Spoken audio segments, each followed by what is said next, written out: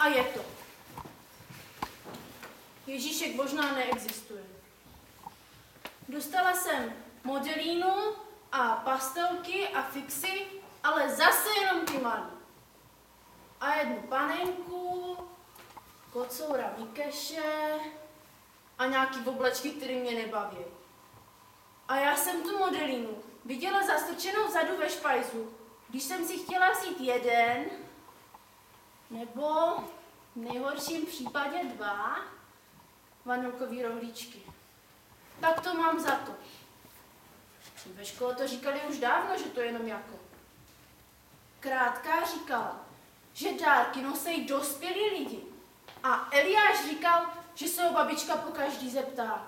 Jiříčku, co pak bys chtěl k Vánocům? No a pak mu dá vždycky ponožky.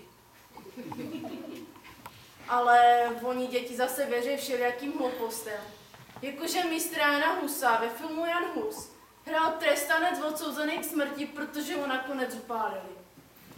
Toto já vím, že to tak není. Že to byl normální herec Štěpánek a že byl naživu i potom.